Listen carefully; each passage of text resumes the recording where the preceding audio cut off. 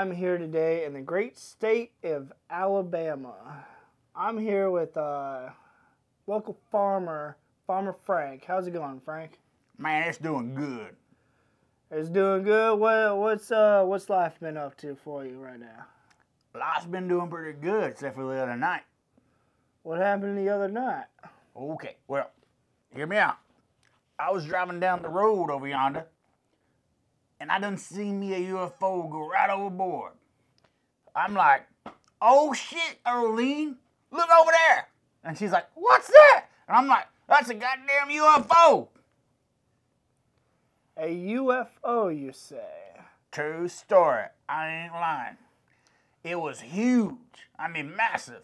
This thing must have been about three pig pens wide. It was massive.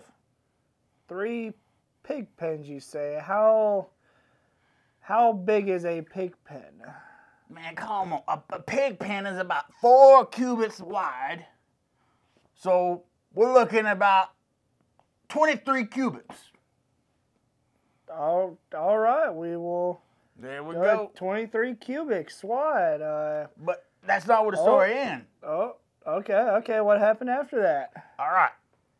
So Earlene's like, you better not drive over there. And I'm like, shut up, woman. This is my car. And I drove over there.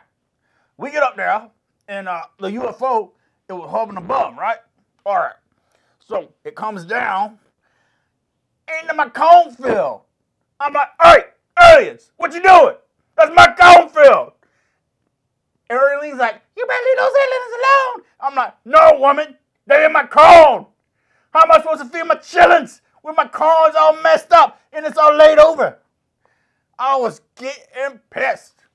Earlene, she at this point gets out of the car, walks around to my side, and begins to kick me out of my car. I was like, woman, this is my car. Get the fuck out of my car.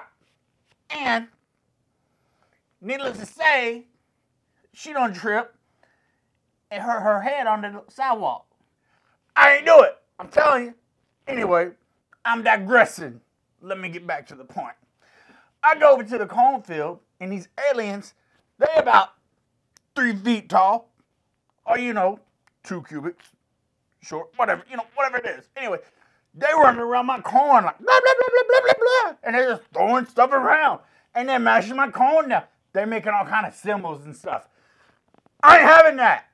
I was like, no, get out of my car. And I start kicking them and kicking them.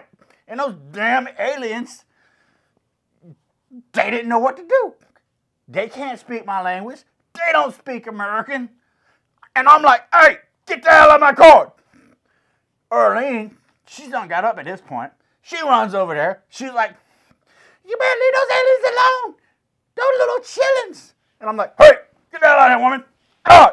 And I kicked her too. And those aliens, they done took me on no ship. Right up no ship. I don't know what happened there. I gotta tell you this. Woo! That sounds uh like an eventful uh, night. Uh, I guess we will end it right there. But uh, yes, that's uh, Farmer Frank from the great state of Alabama. Roll Tide! Uh, yeah, roll, back to you, Chuck.